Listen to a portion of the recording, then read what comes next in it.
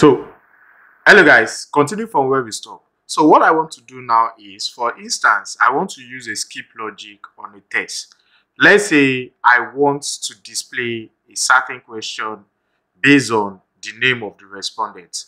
How am I going to do that? We can actually leverage on skip logic in Kobo Toolbox to carry out the operation. So how am I going to do it? So let's jump into it. Let's say, for example, on this age, for instance, I want to display the age if the name of the respondent is David. So how am I going to do that? What I need to do is to go to the setting on the age. So I'm going to click on the setting. Then I'm going to click on the skip logic, right? Now, on the skip logic, you know, let me go back again.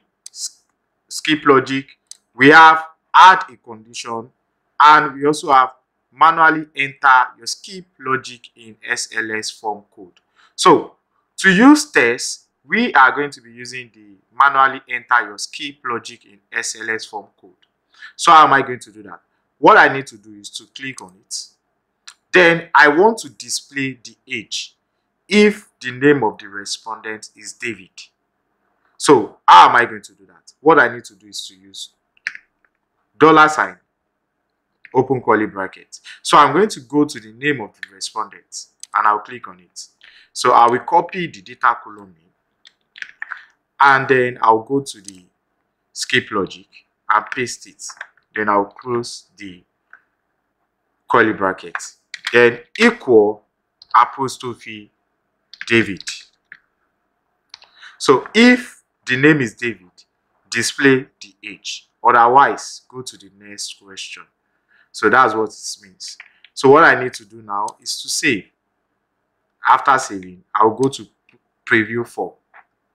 So on the preview form, you can see the age is missing, right? It's hidden. Now, what I need to do is, if I should type shell, it's not going to bring it out. If I type anything, it's not going to bring it out, except I type David. So if you want to, if you want to, if like for example, you have someone that you want to identify in your questionnaire, and you want only that person to fill that form, you can actually use this skip logic to do that. So let me use David. And it's going to bring out the age. So that's the advantage of using the XLSForm code to for skip logic.